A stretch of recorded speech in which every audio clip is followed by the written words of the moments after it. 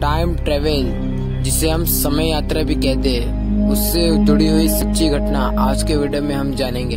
तो चलिए बिना किसी देरी के शुरू करते a flight into the future साल था 1935 जब एयर मार्शल विक्टर गैरेट अपनी जर्नी से आ रहे थे स्कॉटलैंड की तरफ़ से।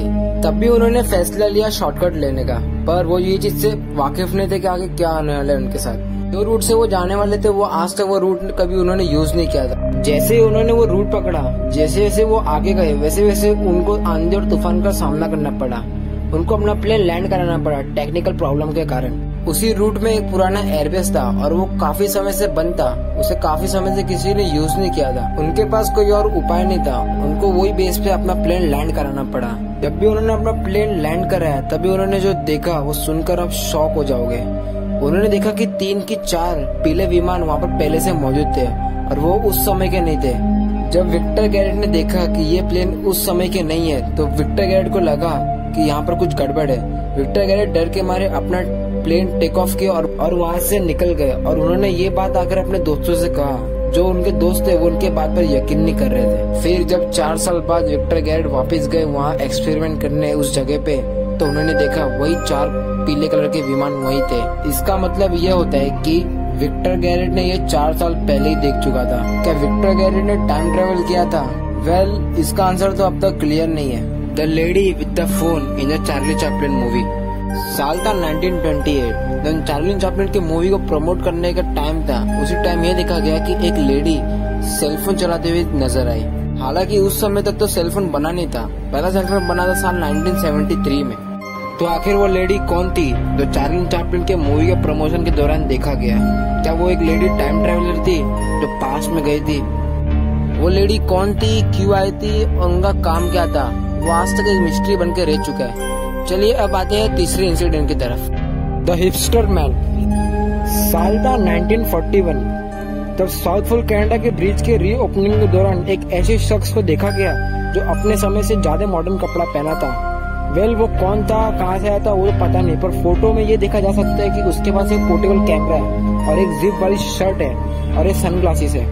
वेल जब रिसर्चरों ने ये देख के बताया कि ये फ़ोटो में एक टाइम ट्रेवलर है, तब से लेकर आज तक 2004 में ये फ़ोटो को प्रोलम पाइनियर म्यूज़ियम में डिस्प्ले किया गया। तब से लेकर आज तक ये फ़ोटो उधर ही है। चलिए अब आते हैं चौदह पॉइंट पर, जो कि है the time traveller boxing fan साल था 1995 जब माइक टाइसन के मैच के दौरान एक ऐसे शख्स को देखा गया, जो कि फ़ोन पकड़ के माइक टाइसन की वीडियो निकाल रहा था। आप इस वीडियो में साफ़ देख सकते हैं कि कैसा वो फ़ोन की फ्लैश जल रही है और उस शख्स ने फ़ोन वर्टिकली पकड़ा है। हालाँकि मैं आपको यहाँ पर एक बात बता दूँ कि सबसे पहले कैमरा वाले फ़ोन 2000 तक बने ही नहीं थे।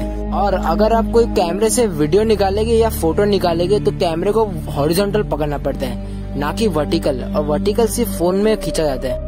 वेल well, बहुत सारे फिजिशियन और रिसर्चर का कहना है कि एक एक्चुअल टाइम ट्रेवलर था जो कि आया था फ्यूचर से माइक टाइसन का मैच देखने के लिए। हालाँकि इसका बाद में क्या हुआ ये किधर गया उसके बारे में तो कोई जानकारी नहीं है। चलिए आते हैं अब पांचवे इंसिडेंट की तरफ़। द एंशंट आईफोन दुनिया का सबसे पहला सेलफोन बनाना था 2007 में पर एप्पल के को फाउंडर का कहना यह है कि उन्होंने दुनिया का सबसे पहला सेलफोन डिस्कवर किया था साढ़े तीन सौ साल पुराने एक पेंटिंग में। जिस वो पेंटिंग बनाया था पीटर दे हुज, उसमें आप एक साफ़ दे सकते हैं एक औरत जो खड़ी है, वो एक ऑब्जेक्ट यूज़ करे जो बिल्कुल एक स्मार्टफ़ोन जैसा दिख रहा है। क्या ये पेंटिंग जिसने बनाया था, वो एक टाइम ट्रेवलर था? या फिर उसको टाइम ट्रेवल के बारे में मालूम था? यहाँ पर एक और एक फ़ोटो में हम देख सकते हैं कि एक शख्स बैठा है, जो कि एक ऑब्जेक्ट चला रहा है। अब वो बिल्कुल एकदम आज के जमाने का स्मार्टफ़ोन जैसा लग रहा है।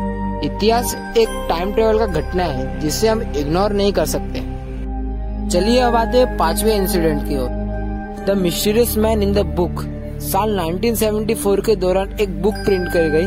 उसमें ये देखा गया कि कैप्सकम नाम के जगह पर, जो कि अब अमेरिका और कनाडा के बीच में, उसमें ये देखा गया कि एक इंसान, जो कि अपने जमाने से ज़्यादा मॉडर्न कपड़े पहने, हम उसमें देख सकते हैं कि साफ़ कैसे दूसरे लोग उसको गौर से देख रहे हैं। हम इस फ़ोटो में साफ़ देख सकते हैं कैसे बाकी लोग 1970 जमाने के कपड़े पहने और ये इंसान जो कि पत्थर में बैठा हम उसमें साफ़ देख सकते हैं कैसे उसने मॉडर्न जमाने के कपड़े पहने और उसके बाल के हेयर स्टाइल भी मॉडर्न जमाने के वेल well, देखने जाए तो ये शख्स कौन था और क्यों आया था इसके बारे में तो कोई जानकारी है नहीं। उसके बाद से इसी इसको कोई और फ़ोटो में देखा नहीं गया।